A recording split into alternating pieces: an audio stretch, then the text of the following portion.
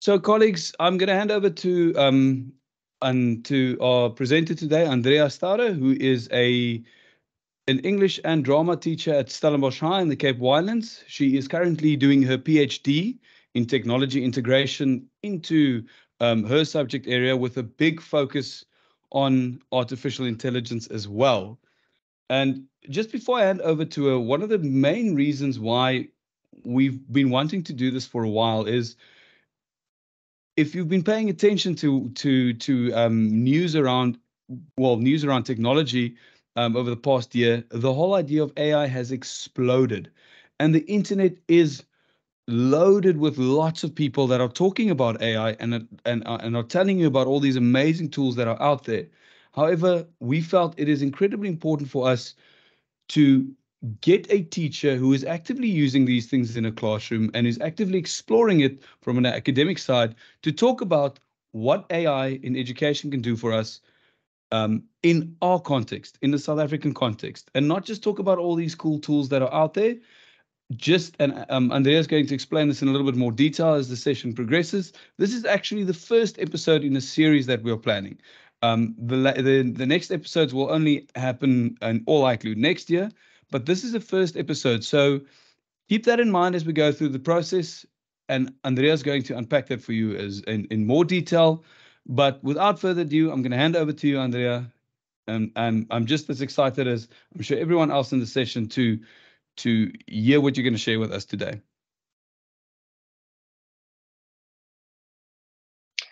I just needed to unmute my mic there. Good afternoon, everyone. Um, I sort of purposefully didn't check how many people are actually in this session, but Jaco mentioned something about 230 or something. I suppose it's a bit more. Um, just to confirm, everyone hears me. Jaco, do you hear me clearly? Before I yes, monologuing. I can hear you clearly, Andrea. Thank you. Also, apologies for um, my voice. I'm still a little bit under the weather, but um, ons ploeg voort and we make the best of this. I'm extremely nervous for today's session, but also equally as excited because I've been in so many braai conversations, uh, staff room conversations, wherever. And the general sort of feeling that I get is people are extremely scared of what's happening in the world. Yes, all sorts of other things, but particularly about artificial intelligence. Um, and my, I don't, I don't, I'm not actually scared of it at all because this whole thing that I want to talk to you about today is the fact that we need to become excited about it. The moment you start becoming scared about all this new technology is the moment that that scary technology actually wins. Um, when you make it the villain, it becomes the villain. So for me, this is about putting on a different pair of glasses and looking at this from with a, with the excitement and uh, oh my word, look at all these opportunities that are actually possible now. So before we get into anything, I would like to play a little game. Um, so I want to find out from you guys, and I think Jaco, you might be able to do a poll or something. Otherwise, it's just sort of in your head. Which one of these, its uh, image, was generated by AI? A or B or C? So have a look at them. And if you want to, I don't know if there's a poll going on, I can't see the chat. Um, or if you just want to pop the letter into the chat, this is this is not a test. It's just to to sort of get your brain going. Which one do you think was generated by AI? There Five. is indeed a poll going. So oh, I want to do keep a countdown. You, I'll keep you posted on what they. well, let's give a countdown, maybe five more seconds and then you can tell me which one won is sort of the dominant contender, yeah? Five, four, three, two, one. What do you have going there, Jaco? Sorry, my connection just took a dip. Um, so we've got about 48% are saying option A, 37 are saying option B. Uh, now it's gone up to 18% are saying option C. So quite mixed response. Option A just under 50%. Option B, just under 40%. So they're quite, they're the two most popular picks. Well, the winner is option A. I'm always curious to know why people think this is the one. Because Jaco, I played this with him and he said it's because it's too perfect. And that's actually quite a valid point. But how about this one? So, which one of these were generated by AI? Two poems, poem A and poem B. I don't expect you to read the whole thing, but just give it a look.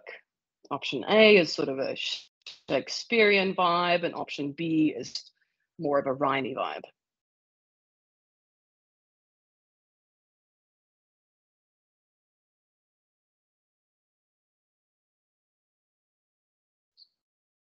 Any guesses?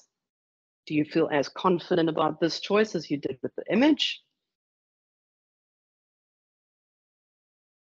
I've also put up the, the I've also put out a, a a a poll. I'm just trying to read it myself first to make a pick.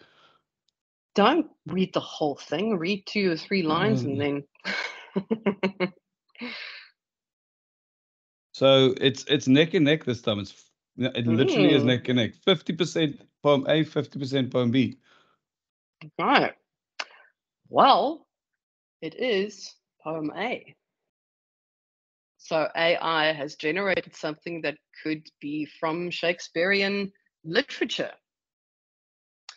And then the last one, which one of these were generated by AI? So I asked AI to write report card comments, um, something that I've actually used in the past, which we will get to later.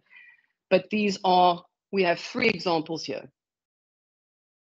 You can have a look, option A, B, and C. And they all say pretty much the same thing, but just in different words.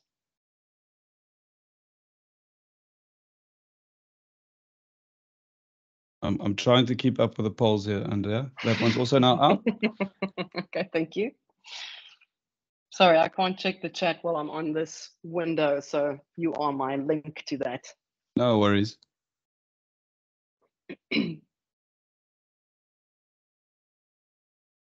So far, um, 70% of them are saying AI generated option A. Mm-hmm. I think those people have used AI and know how wordy AI likes being. Mm. Not many people think option B has been generated by AI. 9%. It, it's very convincingly for A at the moment. 77% believe A was Okay. generated by AI. But this was a trick question. Sorry, peeps, because all of them were generated by AI. Sorry, I had to throw one of these in there. The point is, AI is not just one thing. It's not just one platform. It's not just one version of a tool. It's something that is so new and so in its sort of fetal developmental phase that, yes, those of us who have used ChatGPT or Jenni.ai or Perplexity or Llama or whatever, we sort of have an idea about the style that it generates. But the moment you start engaging with it on a different in a different way and a the different sort of perspective and an angle, then it becomes interesting. And then it starts generating things outside of what you think it's going to generate. Okay. So say what now? I had to do that. I'm sorry.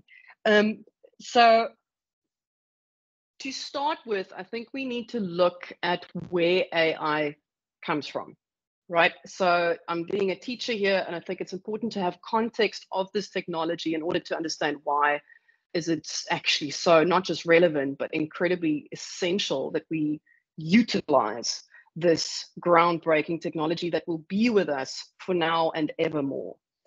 So here's where I want to ask Jaco if you can maybe uh, step in here because I attended, no, I facilitated a session with Jaco, a face-to-face think tank, and he sort of briefly delved into this, and I think he explained it so well that I asked him to just explain it to you wonderful people on this afternoon as well, because I think I'll I'll maybe grab the cat by the tail here. Right. Thanks, um, Andrea.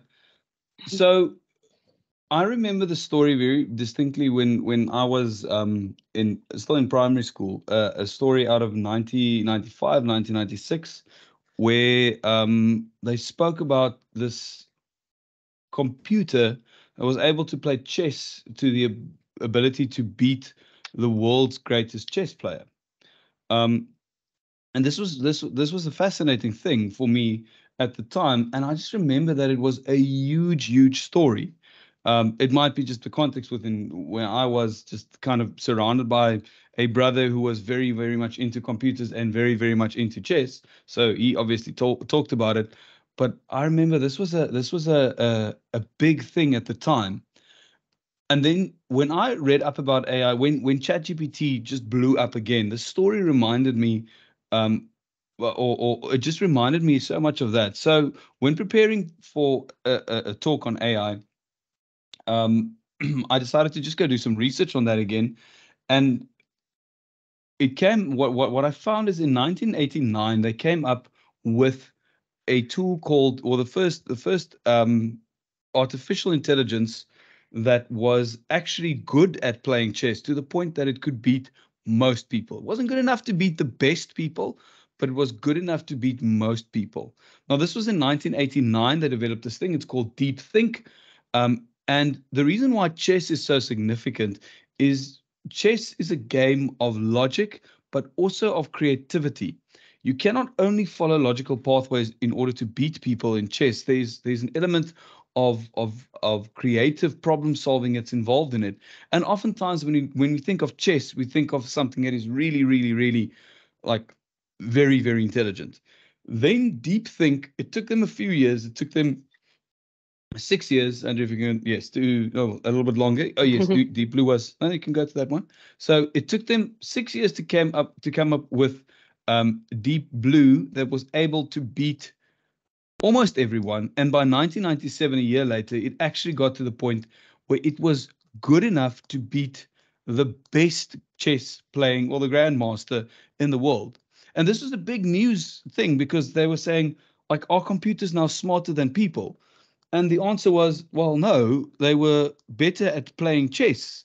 But you couldn't ask Deep Blue to go and do open heart surgery. You c- couldn't ask Deep Blue to do a number of different things. It was designed to do one thing incredibly well. Um, there was a sense at that time, obviously, the whole Terminator thing. You see the image at the top was this is AI, this is Skynet, it is taking over, it's going to come for us. But it actually took them remarkably long to get to the point where the next big step was they took on a game called Go. And Go was is is a Chinese game that is incredibly incredibly difficult, infinitely more complex than chess. And they said, well, if it can master master this, then it's officially smarter than us.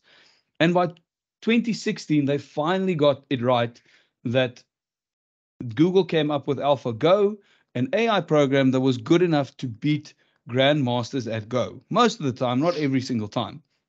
What I didn't include on this, which is a slightly more scary thing actually, um, to latch onto the whole Terminator idea is they came up with a thing called because AlphaGo was great at playing Go, but only Go. A year later, they developed a thing called Alpha Zero, which was not only restricted to one system, and Alpha Zero could teach itself. And the way that it taught itself was by playing against itself. Very exciting, but what does this mean? Alpha Zero was able to, within a few days, by playing chess against itself, become the best chess playing machine in the world. Within a few months, it actually became better. It became a better. Um, it became better at Go than AlphaGo, and currently it is completely unbeatable by any other system. And it it actually learned not by us teaching it, but by it learning from itself. So that was a very interesting step. But still, this did not come up on the radar nearly as big as the Deep Blue thing came up. And I think to a certain extent, because, I mean, great, you've got an AI that is playing games really well. Anyone who plays games on a computer will know you can play against computer AI as well. It's not a new thing. This thing is just very good at it. It hadn't made an impact on us yet. But then ChatGPT came out, and ChatGPT kind of revolutionized things and changed things a lot, but to a certain extent, also not because what it really did is it refocused the conversation on AI a little bit more. And Andrea's going to go on and, and talk about the real world use of AI currently that we don't necessarily always think about, that is really with us. And has been with us for a while, and you are using. Actually, before we do that, Andrea, I just want to ask a question. Uh, put put a poll out. Um, just test mm. the response here. The poll. Oh yes, we want to change your notion of Terminator into a friendly robot that you see there. So just give me a second. Um, I actually wanted to launch this poll quickly, just see what you have to say about this, Andrea, for your um, convenience. The poll basically says, how often do you use AI in education? Daily, weekly, once or twice, or never? Just mm, interesting, interesting question. Mm. We have hmm. 400 people in the session by now. Let's see what they have to say on this.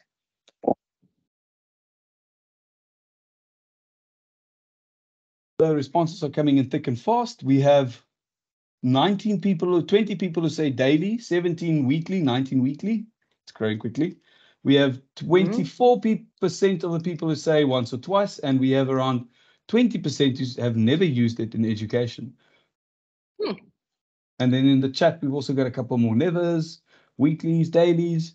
It's a very good balance. It's almost a 25% for each category. Yeah. But this question is also a bit of a trick question because you yep. think it's deliberately using AI, ChatGPT, or any of those platforms, but here comes the clincher. AI is already integrated and has been integrated in many, I want to say most platforms that we actually use every single day.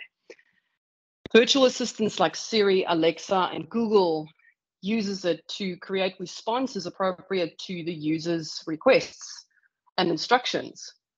We have it on social media platforms because it, it, the algorithm helps curate the personalized content feeds that we get on Instagram and TikTok and Facebook and all of those other social media platforms.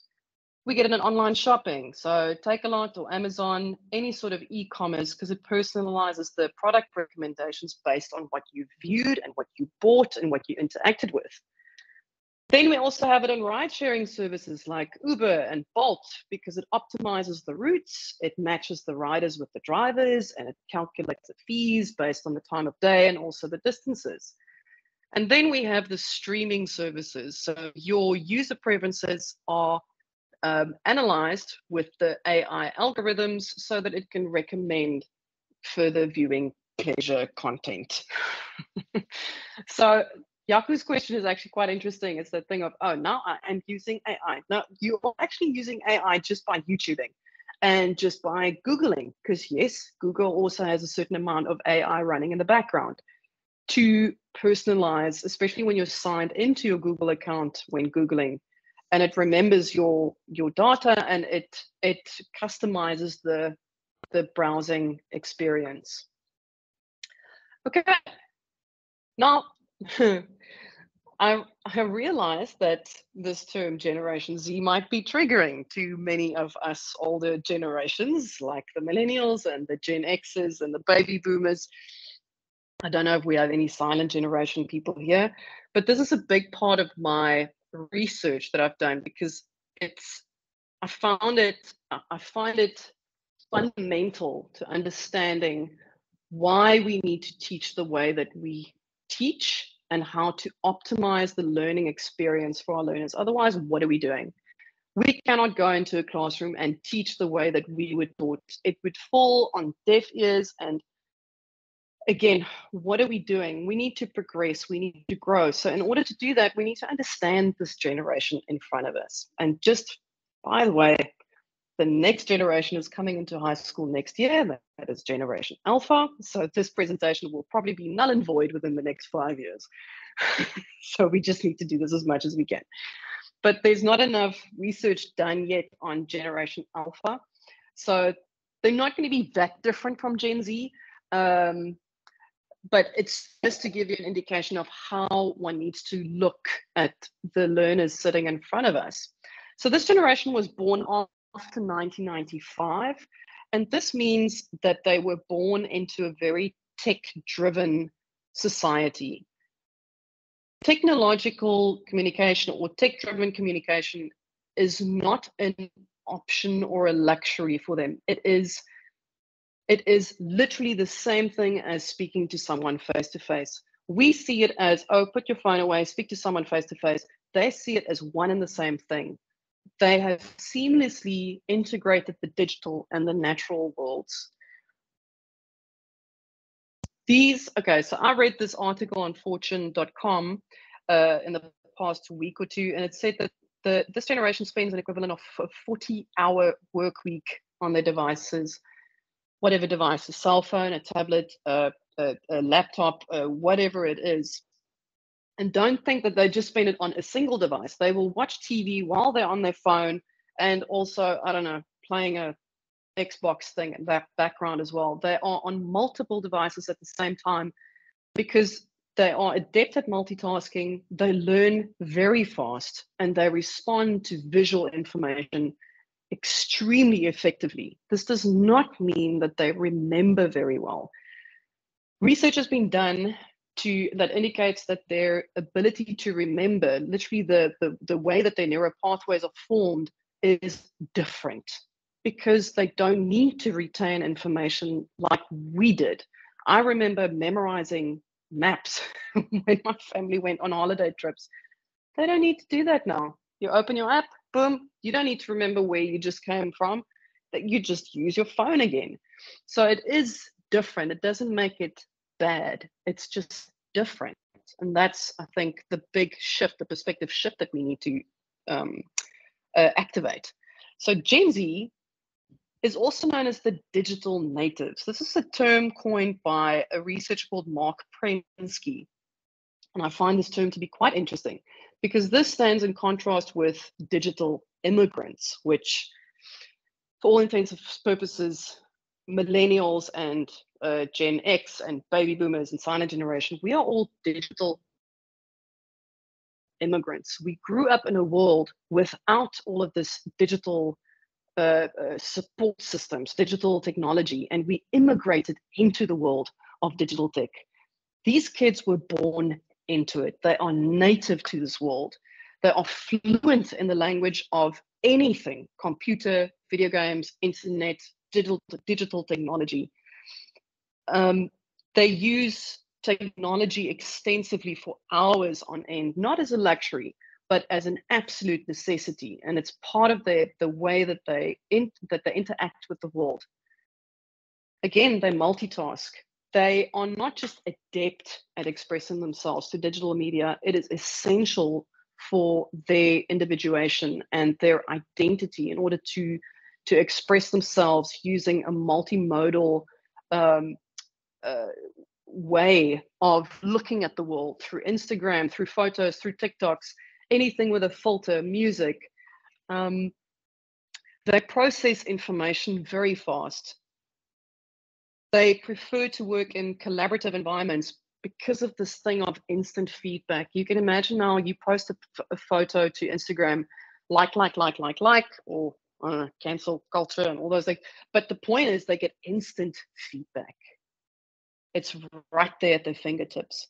And again, the preference for visuals. They prefer graphics and they value visual communication. So before I get into the next thing, I just want to ask Jaco to interject here, please. And just from your perspective um, as a, you're not an e-learning advisor, I can't remember your title now, you're up. just explain the South African context, because obviously this, what I've been talking about now is a sort of a world context, and our South African context might differ a little bit. And we just want to bring that into perspective for the attendees of this webinar. So, Jaco, Thanks. Thanks, um, Andrea. I think one of the one of the things we can often one of the mistakes we can often make at this point is when you read all of this, we can say, yes, this might apply to our more affluent communities, and yes, um, this this is based on on on research in first world countries, and while that is true, we also have to be mindful of the fact that South Africa is also, in terms of of mobile devices, more flushed with with with devices than any other first world country in the world. We actually have more device mobile devices when you have a look at the device to person ratio. It's more than one to one in in favor of the devices, in fact. So we we have to be aware of that, and we also have to be aware of the fact that access to internet is rapidly spreading throughout the country. It's not it's it's it's not where we want it to be. But just think five years ago, think 10 years ago, think 15 years ago. And then you imagine at the same time, what would it look like in five years' time? So we have to be mindful of the fact that a lot of these things might seem like it doesn't apply in our context, but it is either already here or it is definitely coming. Um, our director in e-learning, he's, he, he likes to say that what's happening now is slowly but surely, just like water and electricity are absolute necessities, connectivity is starting to join that. Water, electricity, connectivity, these are starting to become essential cornerstones for for our successful for, for successfully navigating the world. Um, and while sometimes it doesn't feel like it, it is changing around us.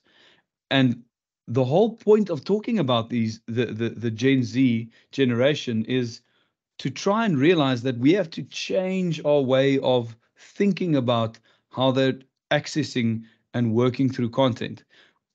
I had an interesting conversation with with with one of our um, with with one of our subject advisors a while ago, where they said, "But kids don't have tablets; they can't write they can't write um, longer responses on tablets." When I was still in school, um, when I was still teaching about five five years or so back, kids were writing 500 word essays on a cell phone. I would never want to do that, but that's because I'm a digital immigrant that to me is a weird concept. Why would I want to write on a phone with two thumbs, write an essay? But they're digital natives. They grew up with that. They look at you and they say, but why not? Why wouldn't you want to do that? We have to start changing our, our view on those things. And this concept to me is such a powerful concept the idea of a digital native and a digital immigrant, and the difference that that brings in how we approach technology. Absolutely. What that sort of uh, spills into is the idea of digital wisdom. Um, so I love the term wisdom because it's not just about knowing something, it's about manipula- manipulating what you know and and making it your own and applying it to real world context. So two terms, the one is digital literacy. So it's the same as conventional literacy where you are able to read and write and interact with information in a certain uh, modality. But digital literacy also involves understanding how to use information from various digital sources and then to critically evaluate those digital sources and construct new knowledge from this. But above and beyond this, more holistically, is digital wisdom. So you Jaco and I had this conversation, I think, two days ago. The idea that you can be you can be digitally literate, but not necessarily wise. But you can't be digitally wise without being digitally literate. I hope that sort of makes sense. The one does lead to the other one. The moment you understand how knowledge is disseminated in so many modalities, then you can start making decisions using that technology and and and use the technology to actually uh, affect how you make those decisions because for me it's two different things. And then you start becoming creative with your solutions and you can consider complex problems in a different way because you're aided by technology something that 10 20 30 years ago was not possible at all. So going through and going into AI and the conversations and the world that lies before us, that we should decide either we will explore this with gusto or we're going to squirm away in fear. I think it's important to understand this concept of digital wisdom, not just for ourselves, but also instill this into our learners. Because I think if teachers start going, AI, you know, and go back to pen and paper, that is not training is the wrong word. That is not growing our learners. It's not creating uh, uh, effective contributors to the future workforce. It's not enabling our learners to become strong, lifelong learners for the rest of their lives. It is just you trying to put a plaster over something that is just annoying at the moment and tricky. So, how is AI text generated? Right. So you go to Google, you type in something, boom, boom, boom, it gives you a bunch of results. You might think AI works like this. It does not. AI text is generated on the go. So it is literally word for word being generated and it is based on the previous word that it generated. So let me explain. It has the ability to understand context, and we will get to this notion of context and then provide relevant responses based on that context. I cannot emphasize this enough that idea of context, but again, I will get to that in a bit. It allows you to have human like conversation. So, this is where it's different from Google. Google, you go, give me this information, it gives you that information. And now you have to suss out what's sort of valid and what's not. With AI, it is an interaction, it is a reiterative process, an ongoing thing. And then this is what I mean by it predicts and it bases it, its response word for word on the previous word. It predicts what words, phrases, and sentences are most associated with the input. I'll explain a bit more. So if I type in quantum mechanics is, excuse me, quantum mechanics is, then the AI algorithm goes, okay, so the probability of the next word being A is 4.5%, or quantum mechanics is, the probability of the next word being based is 3.8%.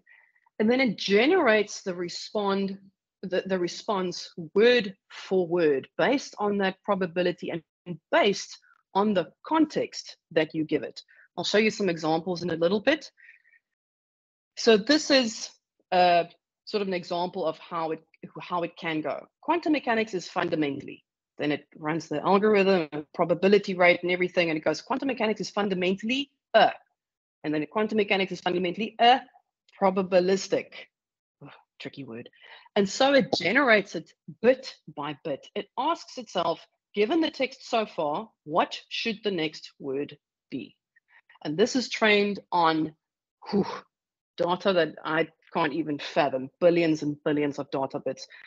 Um, so it's not exactly like Google yet. You cannot get up to date as in news that happened yesterday. You don't have access to that yet. I think it was trained up until 2021 September. So you ask AI and specifically ChatGPT stuff about news up until then, but you can't ask it like what happened yesterday in I don't know uh, uh, Canada.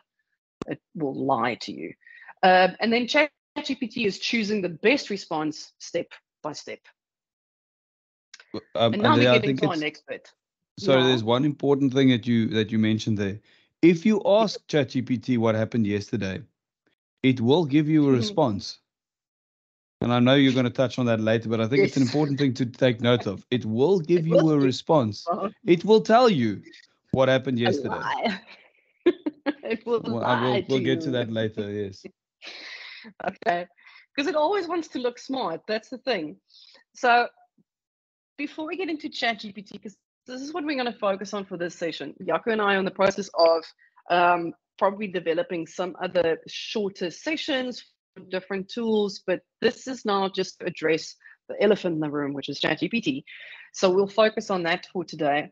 And also something that Jaco uh, asked me to mention is because of OpenAI and GPT 3.5 and GPT 4 and everything coming out, and all of these large language large language models, um, a lot of startup companies also want to cash in on this, um, and they are developing smaller tools and niche tools that can develop your lessons and they can I don't know write emails for you and all of this. Just be aware that you can get away with most things uh, for free. You don't have to pay for these fancy tools. If you go, for example, to ChatGPT and utilize it the way that I will show you some examples now and just play around with it, you do not have to pay for any of these other tools. It's just people obviously want to enter the market and want to try things, but it is not necessary to pay. Yes, you can get a paid version of ChatGPT as well, it's not necessary. Jaco, do you want to say something on that? Yes, I think we need to be. We, we we also have to understand we live in a world that is driven by capitalism and also unfortunately greed is a big factor. So a lot of what you see happening in the AI world, especially in the educational technology thing, is everyone is giving you a sample of what it can do for free. Um, especially these new pop-up tools. They're giving you these incredible tools that are great. You use it once or twice, you get very excited about what it can do, and then they start asking you to pay for it. And often they ask you to pay for the to edit the things that you've already made. So I think you Mhm. need to be Yeah. careful whenever this is a this is just a little bit of advice that I can give you. The very first thing I do when I open up any new tool is I look for a tab called pricing and I click on that and I find out so what do I get on the free version before I invest time and energy into this thing um, so that I know that the, the the time I've spent to learn this tool is time well spent. If I see that I'm not going to get enough value out of this thing for free, it's going to ask me to pay for it. Um, and I'm not saying you shouldn't pay for tools, not not by any means, but you should have enough value out of it for free so that you can make a good informed decision about paying for it and be aware of the cost implication upfront. I think that's an important, just an important tip. I think it's a very good tip, by the way, because the examples that I want to show you with ChatGPT when we get there, I think when you start playing around with that, you'll see you don't really need that much more. Okay, so ChatGPT, like Google, but not. I've sort of spoken about that example. You type stuff in like Google, but it does not respond like Google.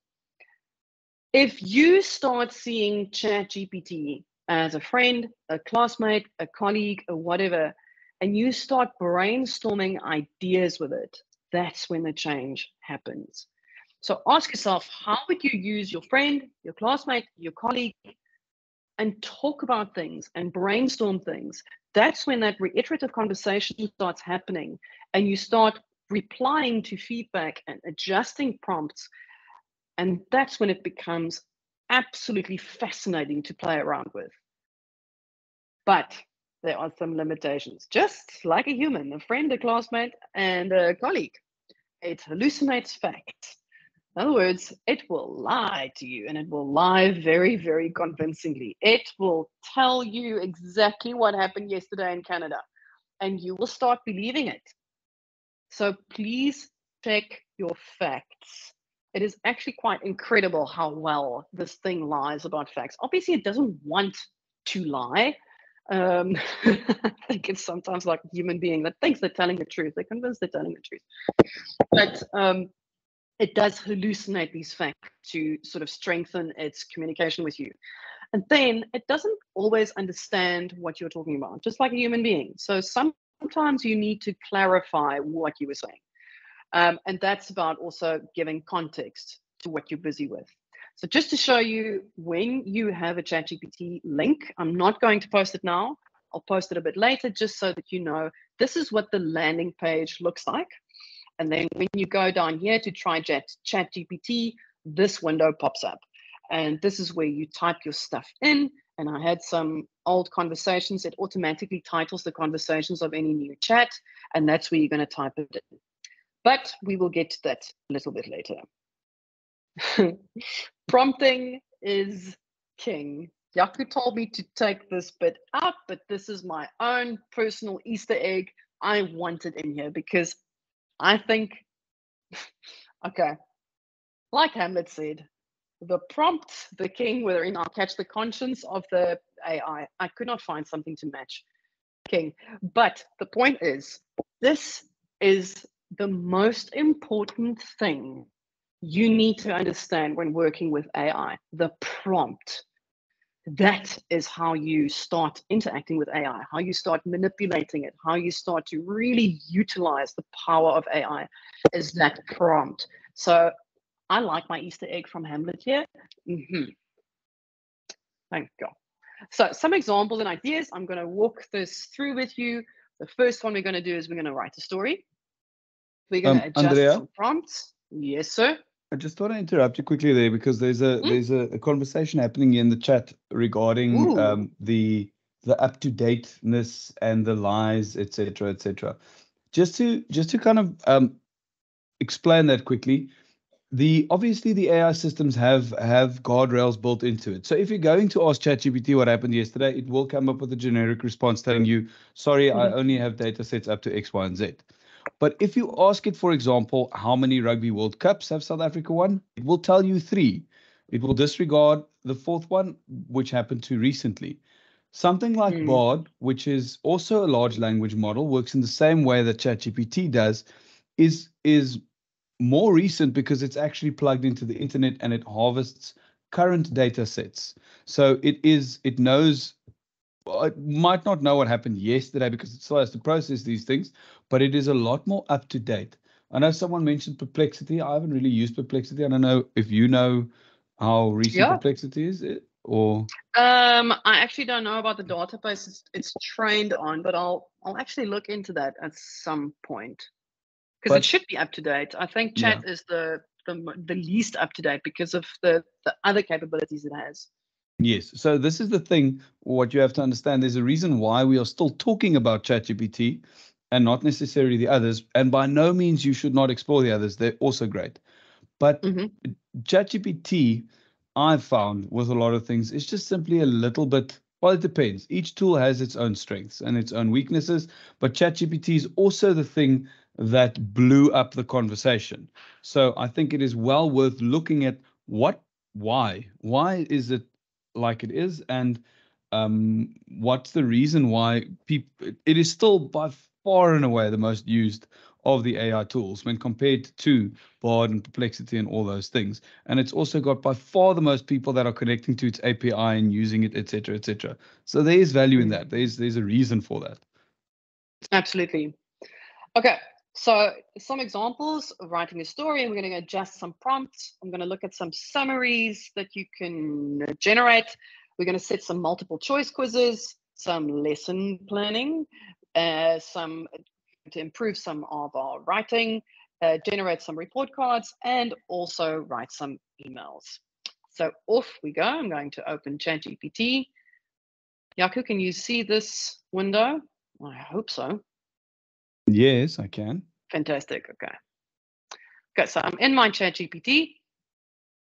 Just want to get my prompt. First one we're going to do is just do this. I'm not going to type everything live, by the way, because then you're going to see how long my fingers are, how clumsy they are. So I've already written my prompts and I'm just copying and pasting them. So there we go. That's my prompt. Write the story, write a fact oh, is ChatGPT going to be slow on me now? So this is also what happens if um, you don't pay for it. Then sometimes it's a little bit slower. I'm just going to refresh it. If you pay for it, you're sort of high on the priority list, and then it writes your stuff a bit faster. Yep, I am seeing it. Okay, fantastic. I just want to swap some things around here. Okay, so let's try it again. I have a very simple prompt here. Write a story about a fox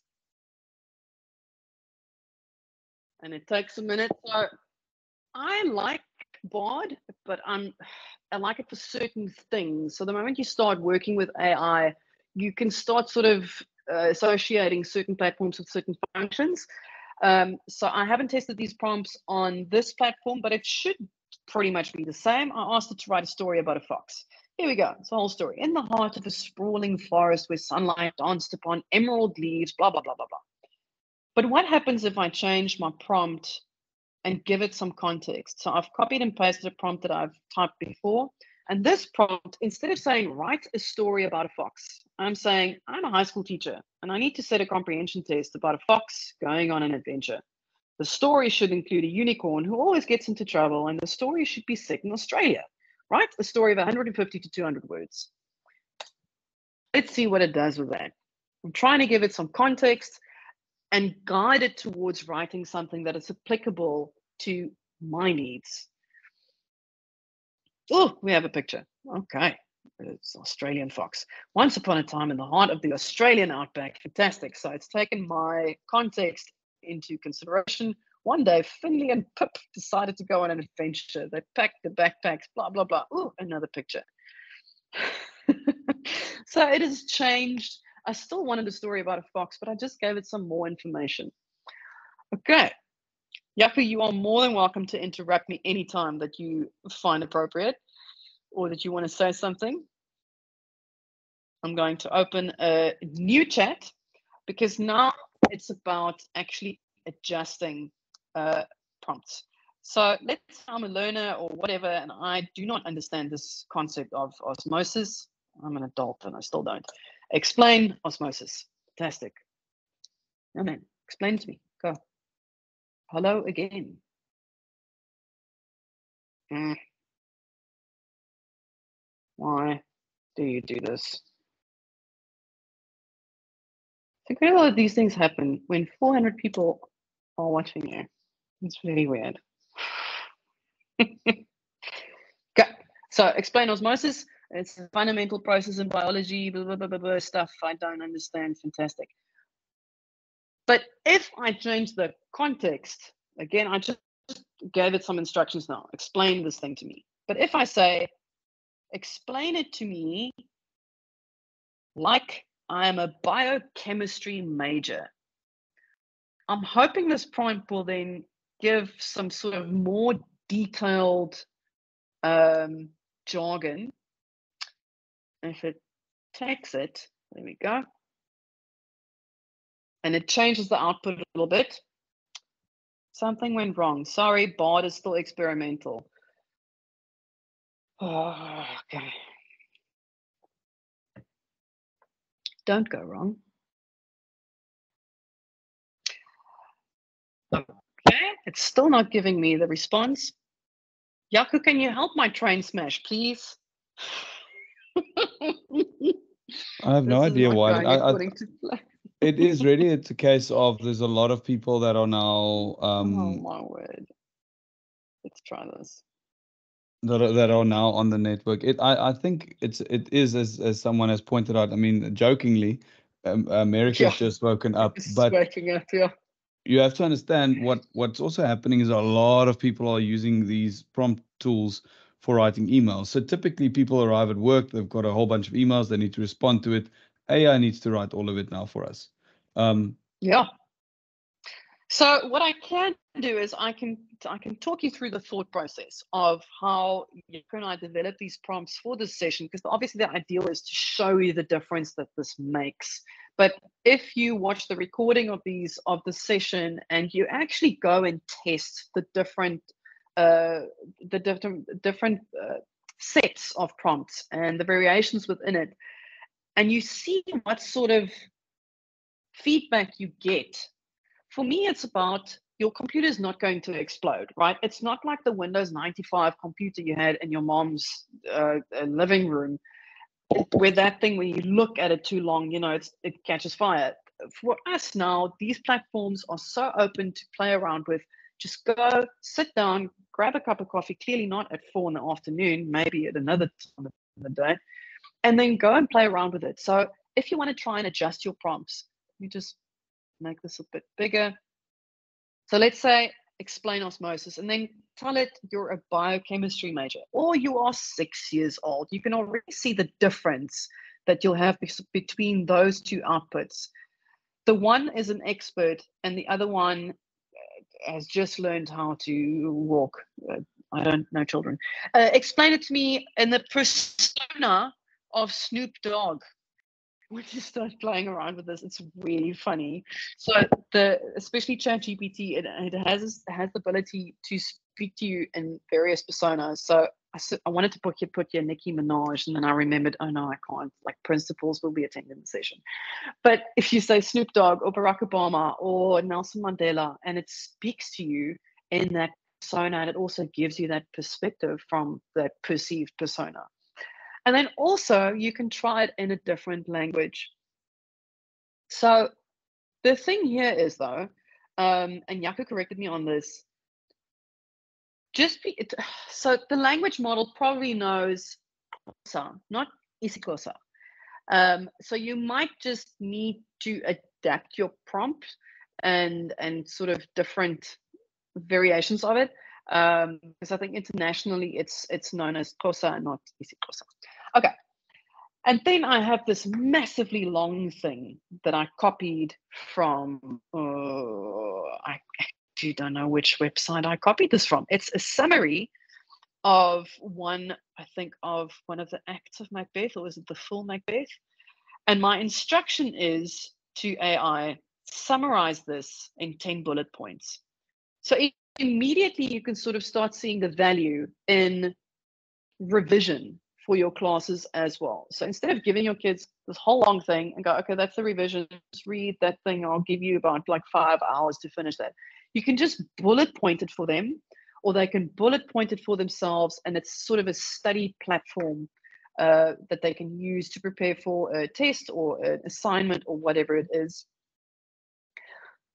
But where I really got my first real kick using AI to help me as a teacher was I was setting a language test, uh, actually coincidentally for my grade 11's uh, FAL class.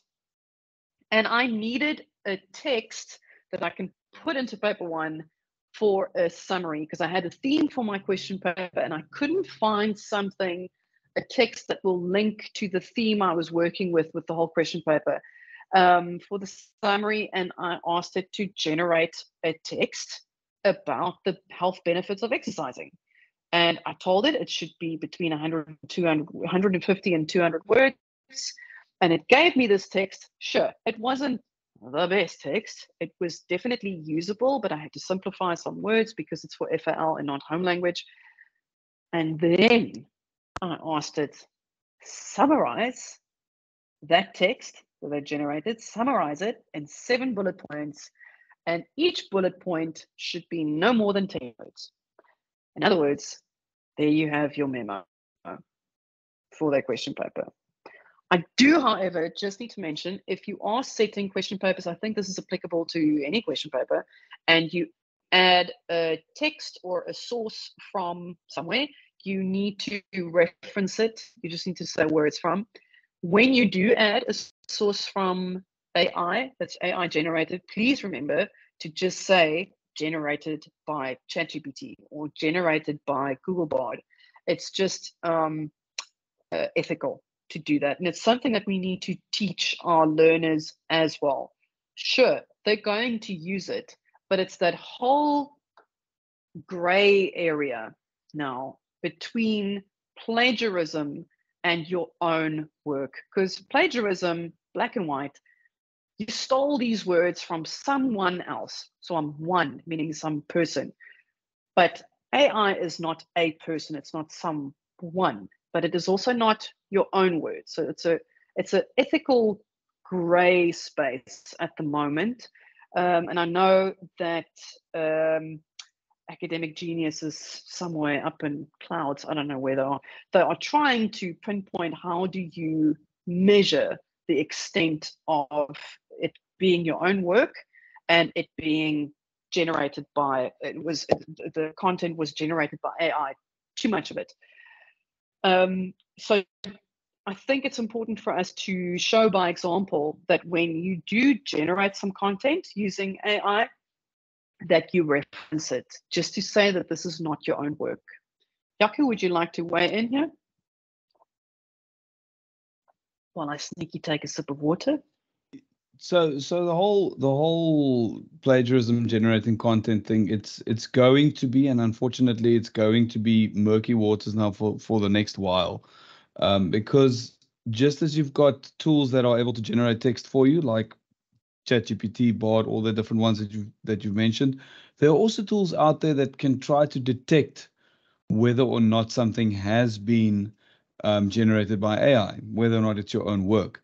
So Mm-hmm. These tools are developing at the same time, and because they're developing at the same time, which is kind of interesting, the the it's almost as if they're trying to be one step ahead of each other the whole time.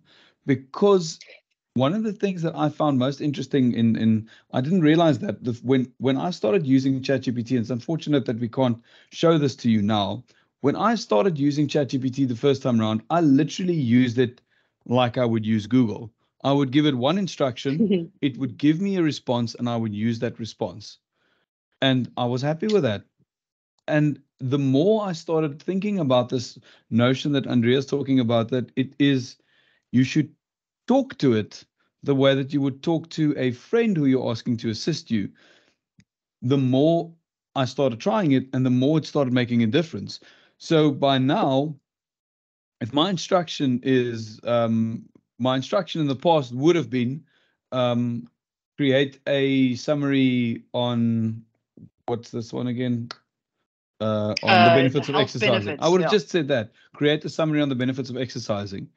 The minute that you give it more context, it starts doing a better job of knowing who what you want. And it comes back to that making choices in the next word that's be, going to be put in there. Because all the context that it is given is added into the large language model to make more accurate predictions on what would be the next, what would be the, the, the appropriate word. So if you tell it grade 11, then it knows something. If you tell it English additional language, then it knows something. If you tell it make it this length, then it knows that. The more information you can feed it to tell it what you want, the better. And what's what what I enjoy most about the thing is then responding to the answers that it's given you.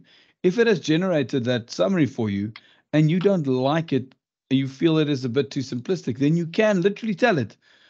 Um, use higher vocabulary, use less, use more simplistic vocabulary, or use use longer sentences. You can literally ask it write me a write me a paragraph and include grammatical errors if you need to use that for whatever reason Yeah. but actually talking to it and and communicating with it in a way that it is responding to you is how you're going to get the best information out of it So I just Uh, want to hook on to what Jaco said about the AI detection tools.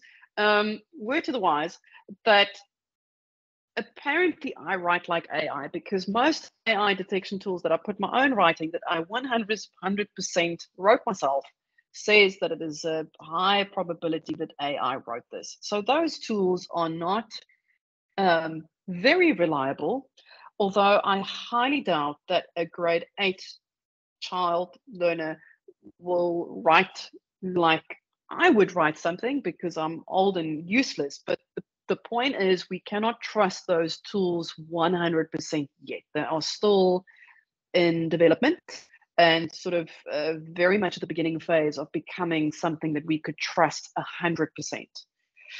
Okay. So the next one I wanted to show you is the setting of multiple choice questions.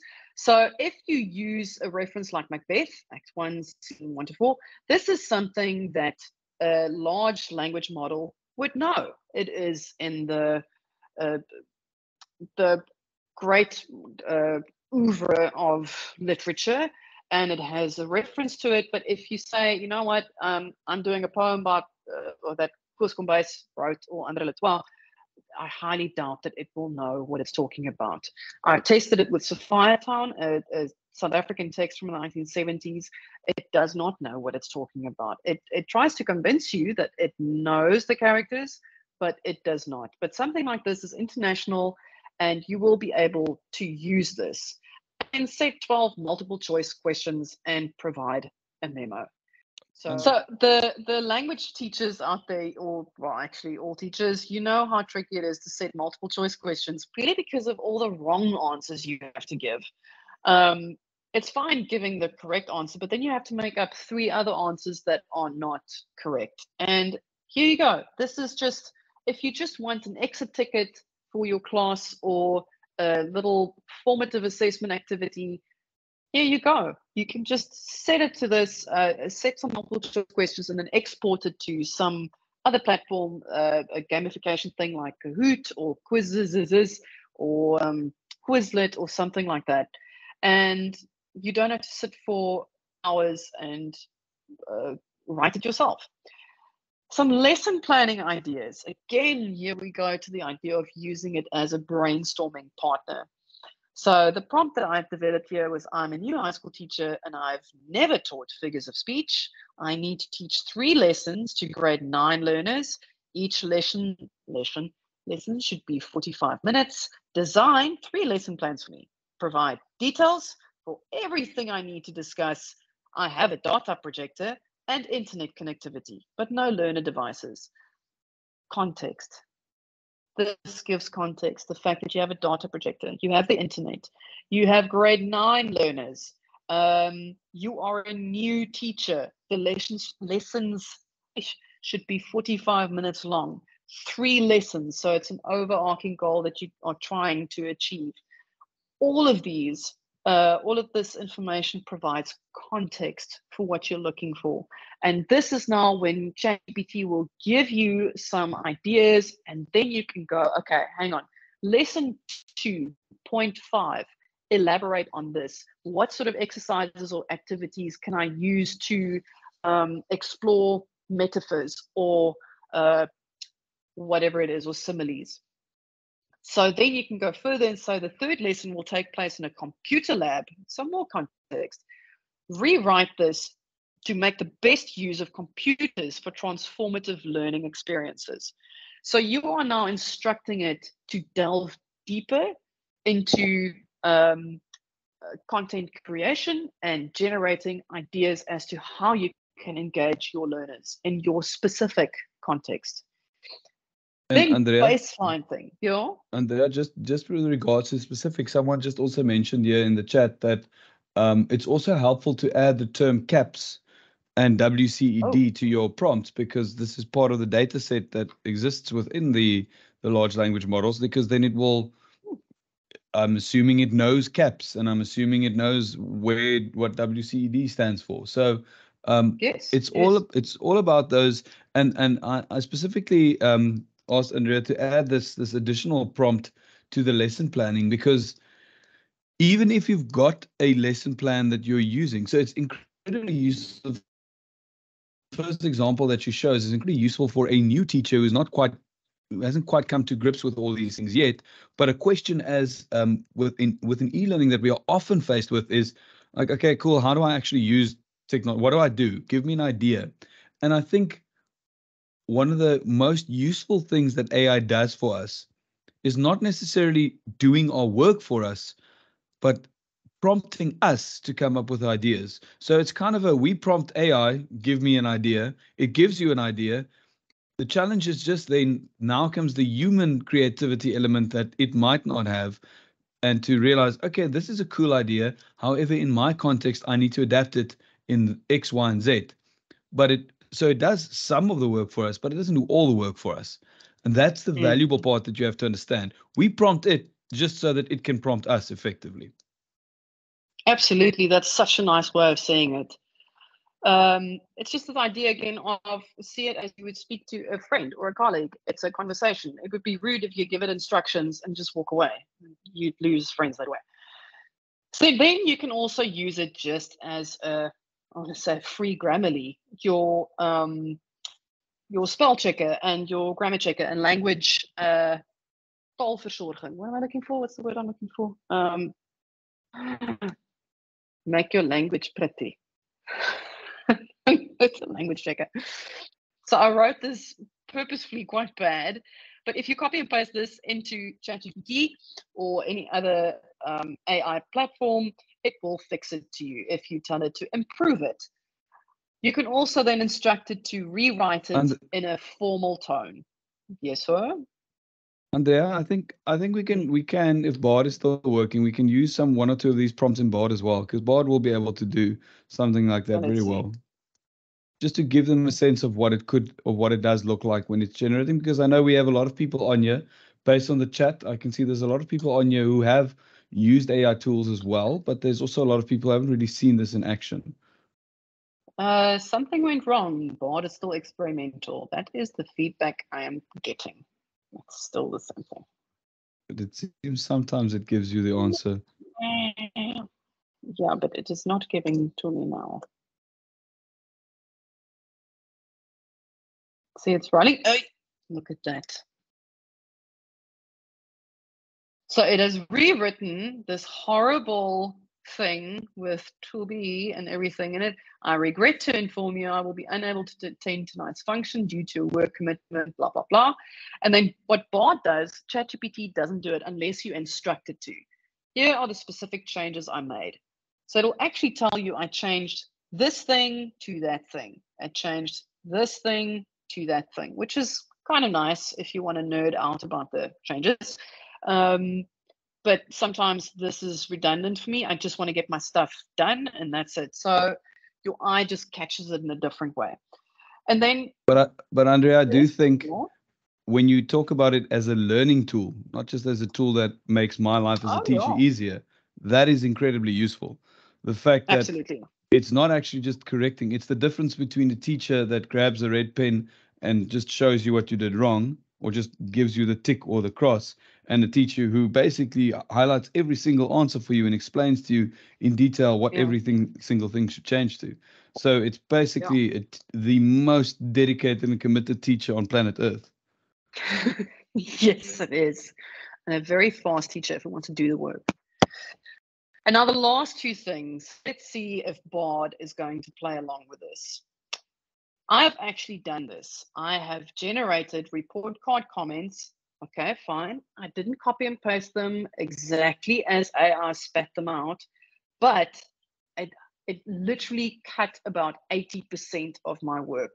Instead of going to write personalized comments for about mm, 80, 90 learners, I gave ChatGPT a lot of information and it just spat out um, some comments that were very much usable. So the prompt here was I'm an English teacher for grade 11s and I need to write report card comments. Each comment needs to be two sentences long. And this is the thing I want to show you that for me is the most important. What do you need from me to write these comments? So this is now you engaging with a conversation with AI. What do you need from me? So every video that I watch, everything that I sort of read about AI prompt uh, engineering and prompt designing, it's about also asking AI to ask you questions. So here we have its response. So it needs a student name, uh, overall performance, so maybe a brief overview of the student's overall performance, strengths in English, areas of improvement, blah, blah, blah, blah, blah. So now I can go in here and type the student's name. Um, so let's say uh, Yanni, um, poor performance and uh, strengths in English. He talks a lot. I suppose that's a strength. Uh, areas for improvement um, needs to pay more attention in class. And number five, I'm going to ignore. Let's see what it does with that.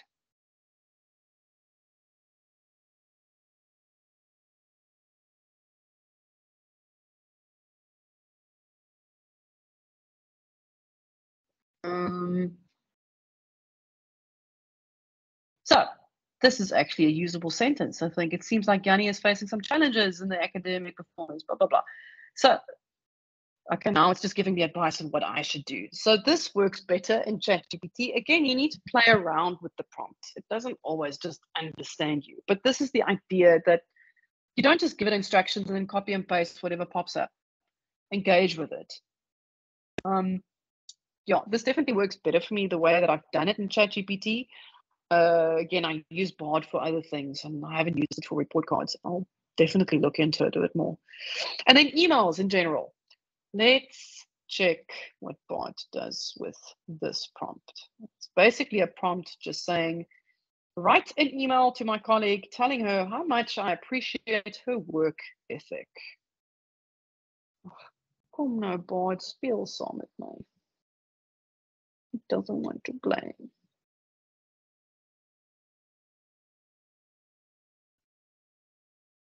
It's like if you just slap it enough, it goes. Yeah, it seems if you if you ask it very nicely, then it does. ChatGPT is just ChatGPT is just refusing. I've tried it a hundred times. I've got a million empty chats now. But Bard Yeah. at least seems a little bit nicer. Um, but one thing as this is this generating, lovely email, by the way. Yeah. there we go. One thing as it is generating, I think it is really um, it's it's one of those cases of finding the tool that works for its purpose. Because there's a, there's a, there's a number of things that Bard does really really well, and there's a number of things that ChatGPT does really really well. Um, but the only way you'll know is by exploring the ex, is exploring them, and they kind of have a similar way about them the prompting thing and the reprompting and the giving it details and refining your prompt etc etc as Andrea's pointed out the prompt is the king. Um, it's it's it is a case of the more you do it, the more used to it you become, the more aware of what it can do you also become. So that that whole that is one of the, the the, key things that you need to take from this session is that experimenting and playing around with what it can do is the only way to learn what it could do for you. Yeah, absolutely. Your computer will not explode from this, maybe from something else, but not from playing around with AI. So now I want to adapt this email. I have this great email. I hope this email finds you well. I'm writing to express my sincere gratitude for your unwavering dedication and acceptable, uh, exceptional work ethic. But let's see what it does with this. Okay, let's beg it first. Let's see what happens. I'm just pressing submit the whole time. Nope, does not want to play along. Come on. Okay, so I've asked it to make it more sarcastic. I am writing to express my immense gratitude for your uncanny ability to produce mediocre work, pretending to be a human dynamo. your dedication to mediocrity, your willingness to excel at being underwhelming are truly commendable. Okay, that's brilliant. Okay, so what if I say make it ominous? Oh my goodness, I love the sarcastic one. Jaco, I think that was your your idea to make it sarcastic. And if we make it ominous, Um, I hope this email finds you well and still breathing after another day of your relentless work ethic. Oh my goodness. A concept that seems alien to most of our colleagues who approach every task with a sense of urgency that's only matched by your ability to procrastinate. So it's still being sarcastic and it hasn't taken my ominous thing. Oh, goodness. Okay. And then the last one, I'm not even going to try. I think Bard has given up on life, is make it silly.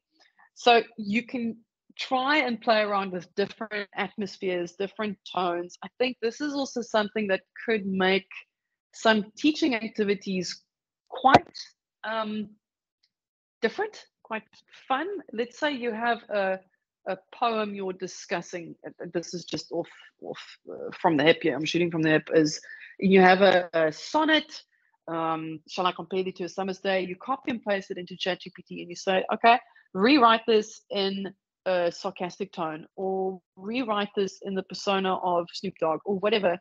And then just to get those creative juices flowing and allow learners to see the possibility of viewing uh, well established and well known literature texts through a different lens. And maybe that opens up some possibilities to actually start engaging the higher Bloom's cognitive uh, levels.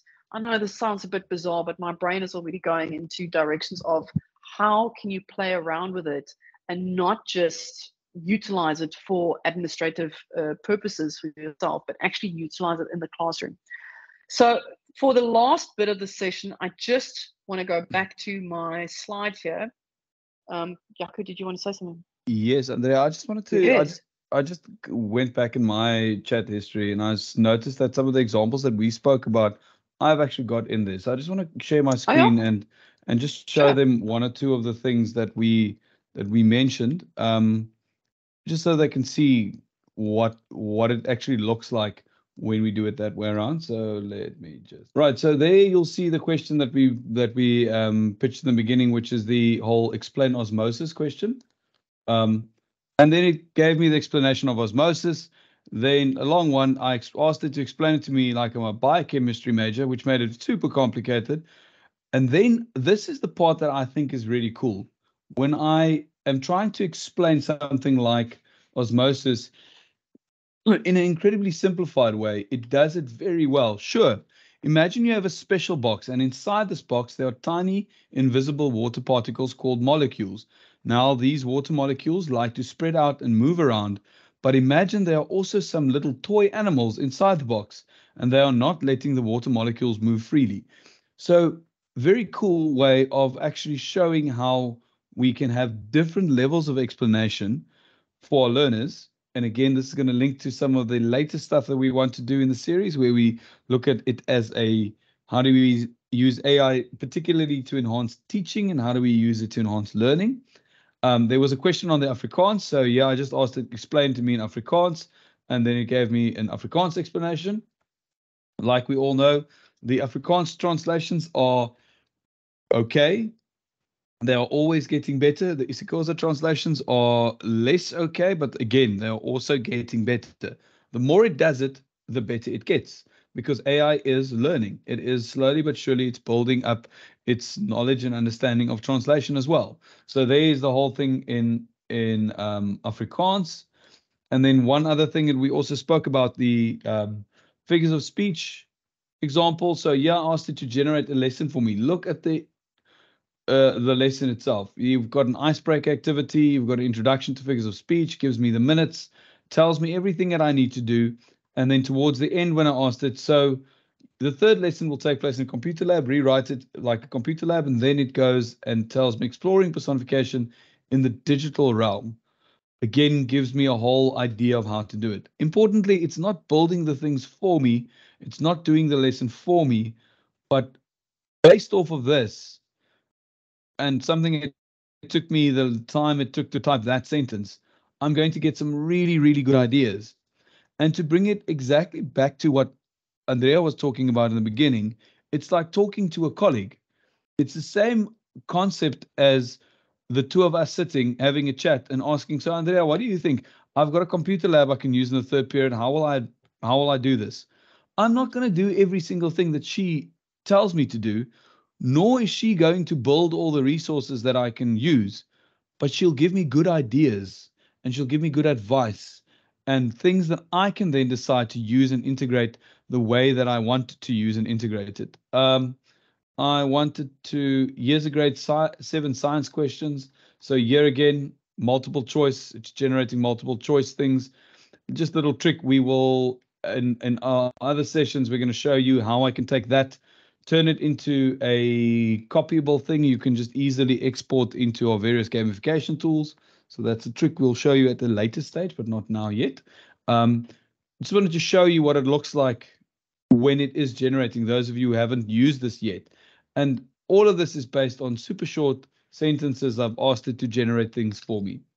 Right, and then I just wanted to show them that quickly because I've got those prompts in the background. So I'm cool. going to hand Thank over to you very much for that. I'm I'm glad you had it in the background there. So for the last few minutes of the session, I just want to go back to um, our presentation because obviously we didn't get to what was really planned, and then we apologize for that. But hey, America waking up, so let them do their thing. Transformative teaching and learning. We will delve into this when we develop, hopefully, develop modules that will add onto this introduction to the idea of AI um, and I'm very glad to see, I've just checked the chat quickly to see how many people have actually engaged with AI and that are not afraid of it. Um, yeah, it's really exciting. So the thing is, we see this thing as it's going to take away our jobs. Yes, we've spoken to people at the Braai about this. It's going to take away our jobs. It's going to kill education as we know it. Learners are going to cheat. Um, yes, it is, and yes, they do. It is going to take away our jobs. It is going to kill education as we know it. Thank goodness. And yes, learners have been cheating and they will always find shortcuts. But, but, generative AI brings with it the potential to make us the most efficient we've ever been at executing uh, an inefficient education system.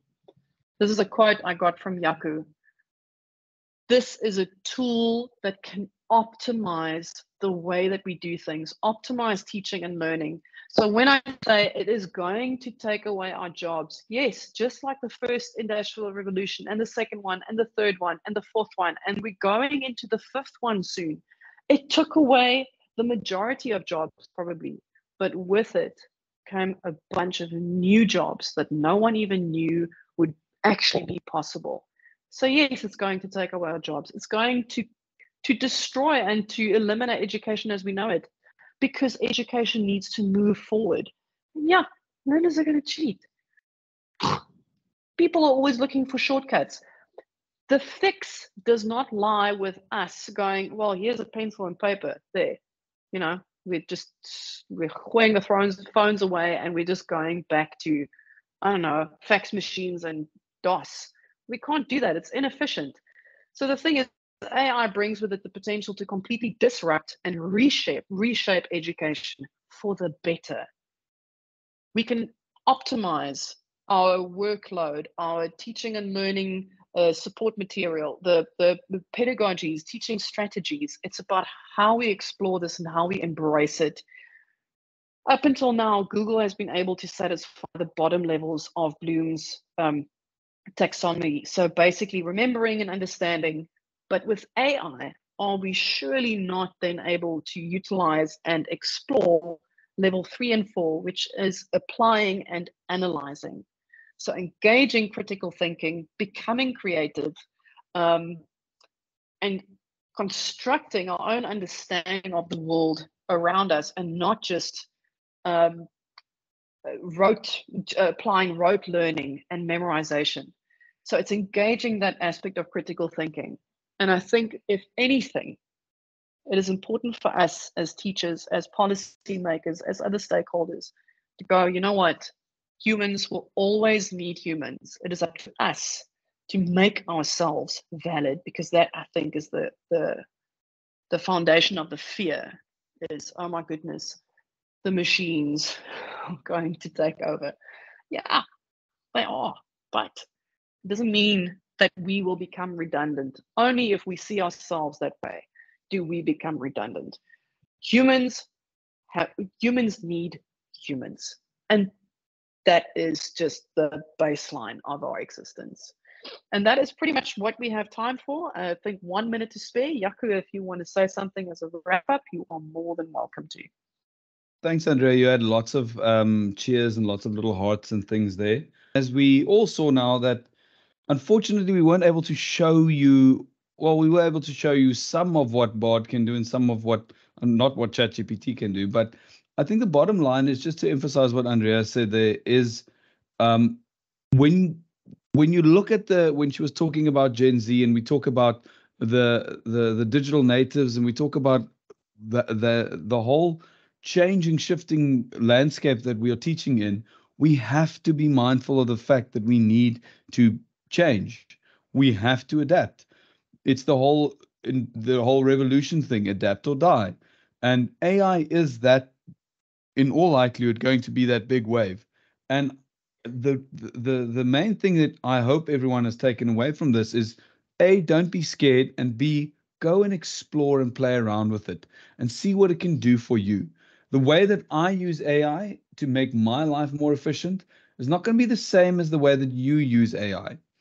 And I can't tell you how to use AI, but again, you'll never find out how how you can use it and what it can do before you explore it. So Again, today's session was more of an introduction to it, was more of a um, hopefully a kickstarter for your own exploration.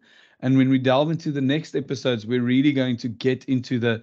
So here are a couple of cool, useful t- tips and tricks that you can just use to take it to the next level. And we and and Andrea's also going to show you some of the ways that she's used it. We will show you some ways that other teachers are using it, just to inspire you into into moving forward in this realm of AI so that you have something so that, so that we aren't left behind as things are moving forward. Absolutely. Thank you, Jaco. And thank you, everyone, for your afternoon and your time and your enthusiasm for furthering education and supporting our learners in this uh, challenging industrial revolution and all that. Thank you very much, everyone.